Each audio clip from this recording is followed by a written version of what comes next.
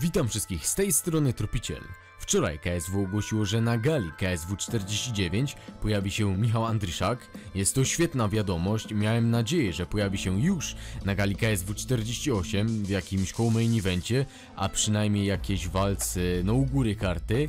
Obstawiałem jako rywala Michała Włodarka i jak się okazało, KSW chciało doprowadzić do rewanżu Andryszaka z Włodarkiem.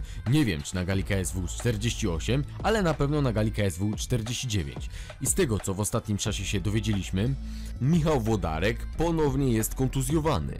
Więc śmiało może konkurować tutaj z Karolem Bedorfem w konkursie na najbardziej kontuzyjnego zawodnika KSW. Pytanie tylko, jakiego rodzaju jest to kontuzja, czy da się to jakoś zaleczyć do gali KSW 49? No ja myślę, że nawet jakby to nie była jakaś poważna kontuzja, to Włodarek jest na tyle sprytnym i na tyle inteligentnym zawodnikiem, że raczej nie zaryzykuje po tych dwóch porażkach z Olim Thompsonem i Michałem Kitą.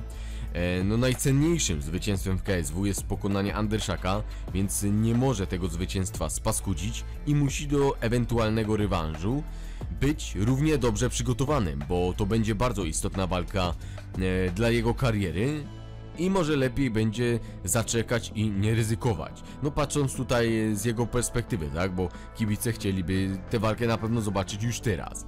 No ale musimy mieć to na uwadze, że jeśli przegra, no to jest szansa, że wyleci z KSW, a od ostatniej walki Michał Andryszak bardzo się zmienił. Był czołówką w Polsce, teraz jest jednym z najlepszych zawodników w Europie. Jest po porażce też z dobrym zawodnikiem, no po rocznej przerwie. E, no ale to nie zmienia faktu, że jest jednym z najlepszych ciężkich w Europie, tak? Na pewno przegrana z Włodarkiem siedzi mu i to bardzo.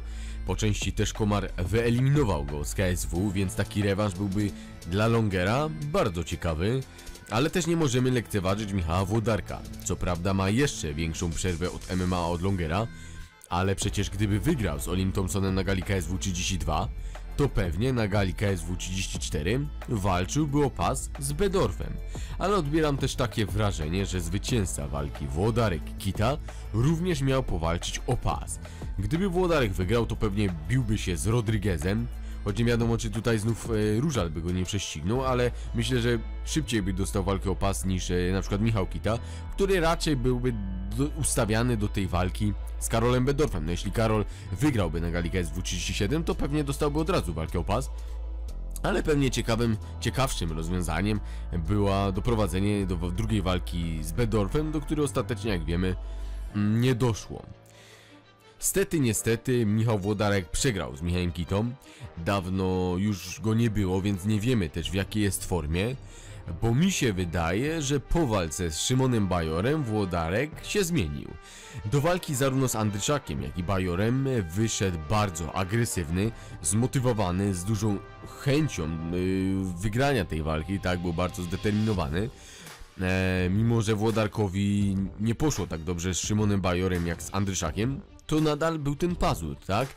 A zarówno do walki z Olim jak i Kitą wyszedł uśmiechnięty, zadowolony i nie wygrał, mimo iż z Olim wygrywał na punkty. To jednak popełnił błąd i przegrał. Więc może potrzeba mu takiej przerwy, aby znów nabrać tego głodu do walki. Czasami to się też oczywiście przydaje. Ja bym chciał zobaczyć rewanż Włodarka z Andyszakiem, ale jeśli go nie zobaczymy, to kto w takim razie dla Longera? Michał, jako były pretendent do pasa, nie powinien dostawać słabych walk. Gdybym mógł zestawić mu jakąś walkę, to pewnie zestawiłbym Andryszaka z Satoshim Ishim. Byłaby to dla niego najmocniejsza walka rankingowa, poza walką mistrzowską oczywiście. Zarówno Ishi, jak i Andryszak są bardzo blisko tego pasa, ale nie wiem, czy KSW nie dogadało się tutaj z Japończykiem, czy sami go zwolnili, e, czy co się stało. E, może nie każdy wie, ale Satoshi Ishii będzie walczył teraz poza KSW e, o pas Federacji PFL, dawnego World Series of Fighting. Jeśli wygra, no to umówmy się, do KSW nie wróci, no bo przecież kto puści swojego mistrza do innej federacji, tak? A znów jeśli przegra, no to KSW no nie może go wrzucić do walki o pas, więc federacja chyba nie za bardzo tego tutaj przemyślała, bo właśnie taka walka Ishi Andyszak mogłaby być e, fajnym pojedynkiem na wyłonienie kolejnego pretendenta. Odpada Ishi, odpada Włodarek, kto dalej? w ciężkiej teraz mamy bidę, no kiedyś było dużo zawodników i każde zestawienie dla mnie przynajmniej było ciekawe. E, no a teraz no ciężko powiedzieć z kim tutaj Andrzej może powalczyć, no na gali KSW 45 e, zestawiono go z Jamesem Maxwellem, wtedy mi się to wydawało głupim zestawieniem, teraz jeszcze głupszym, no bo gdyby jeszcze wygrał e, na 45, no to jeszcze jako tako, nie, jakoś by tam pasował przynajmniej rankingowo w KSW. No, dał dobrą walkę, tak? Ale no nie wygraną. No, więc to jest chyba tam jego czwarta porażka z rzędu, więc przydałoby się jakieś zwycięstwo. Eee, no ale co najważniejsze to tutaj jednak skłaniałbym się do tego, aby tutaj James Maxwell powalczył poza KSW, wygrał przynajmniej jedną walkę i z tego co wiem, ma zawalczyć poza KSW, a jego rywalem, przynajmniej e, nie wiem czy nadal, ale miał być Hatef Moyel. Zawodnik, który na gali KSW 42 przegrał z Marcinem Wójcikiem. Gdzieś widziałem chyba kolejny plakat e, tej gali. HTF zniknął, nie wiem czy po prostu nie jest taką gwiazdą, którą trzeba tutaj promować. I nie wystawiono go na tym plakacie, czy może z walki zrezygnował na rzecz e, pojedynku z Michałem Andeszakiem. No też e, HTF wygrał kilka teraz dobrych walk. No ale nie wiem, czy to byłby taki super pomysł na zestawienie go z Andryszakiem. No nie wiem, nie jestem za bardzo do tego przekonany, ale na pewno lepsza o, jest to opcja niż zestawienie go z mm, Jamesem Maxwellem, nie? To na pewno.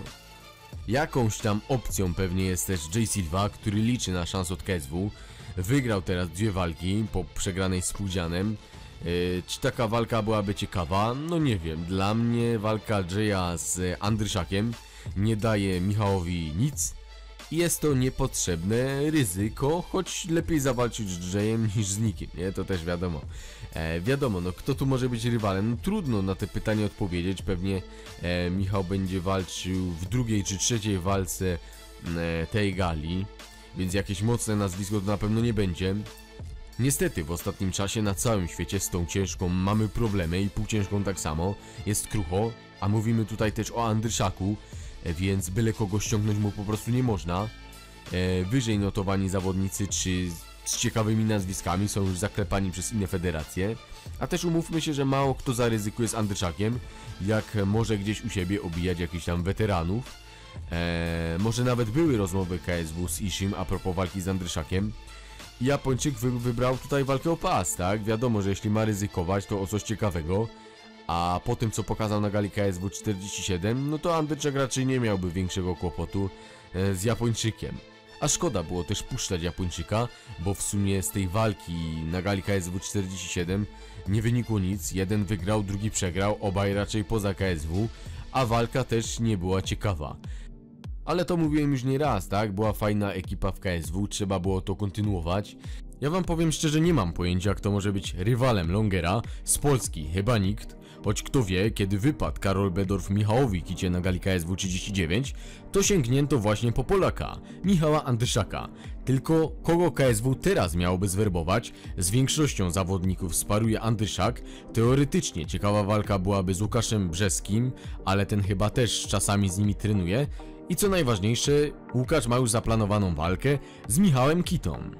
Z tego co wiemy, wolny jest chyba Szymon Bajor, który na Fenie będzie walczył dopiero po wakacjach, ale ciężko w takie zestawienie uwierzyć, choć byłoby ciekawe, bo obaj bardzo są doświadczeni, obaj przegrali z Wodarkiem, e, czemu by ich nie zestawić? No, myślę, że jest to fajne zestawienie. E, dwóch e, młodych takich prospektów, tak, bo jeszcze tacy starzy nie są. Eee, ale no jakoś mi się nie wydaje, no ciężko mi w to uwierzyć. No jest jeszcze w KSW Szymon Kołecki, który moim zdaniem nie jest gotowy na taką walkę, choć na pewno byłoby to ciekawe zestawienie, ale myślę, że czeka go czy to rewanż z Pudzianem, czy wygrany walki Shostak Yun. Myślałem może Wiktor Pesta, bo jednak wygrał z Michałem Kitą, może nie w jakimś zaskakującym stylu, ale jednak e, była to wygrana więc może będzie na celowniku Federacji KSW, choć ostatnio przegrał z Aleksandrem Emelianienko. E, fajnie byłoby zobaczyć e, Michała na przykład z kimś, kto już w KSW walczył, tak? Kto już w KSW coś wygrał.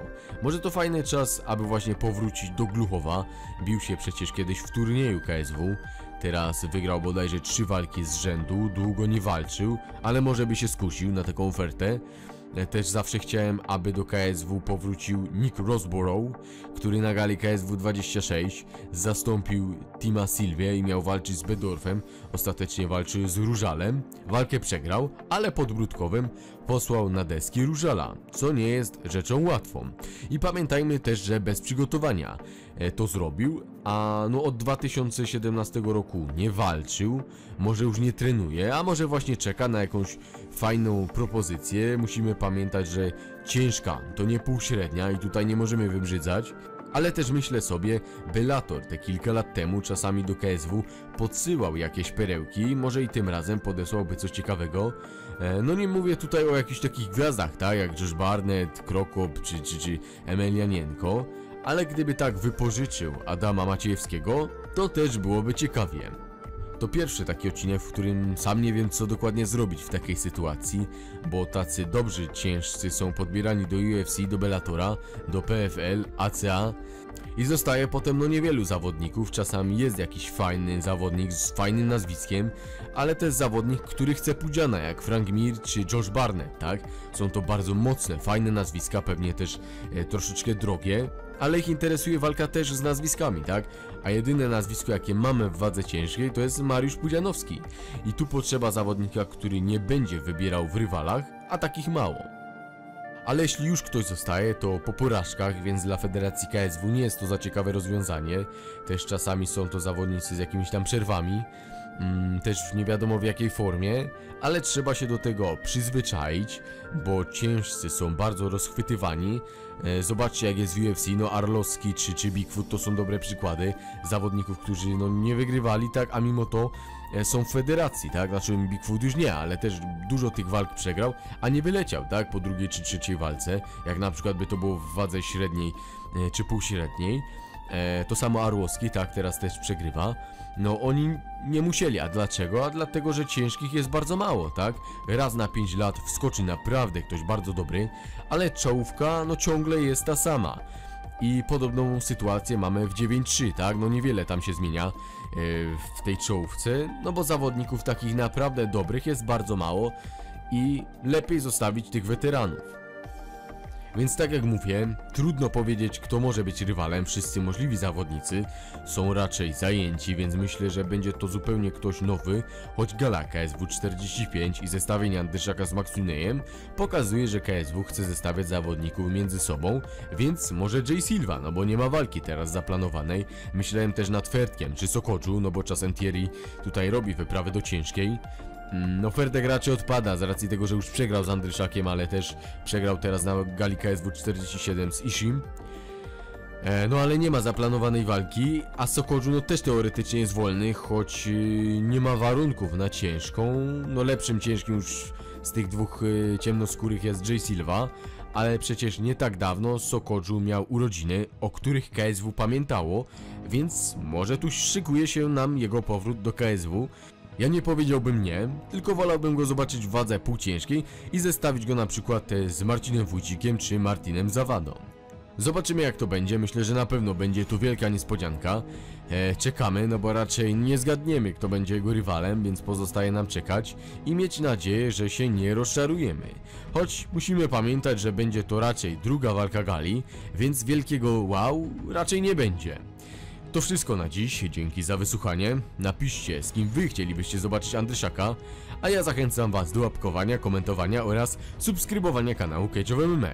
Pozdrawiam was Tropiciel, trzymajcie się!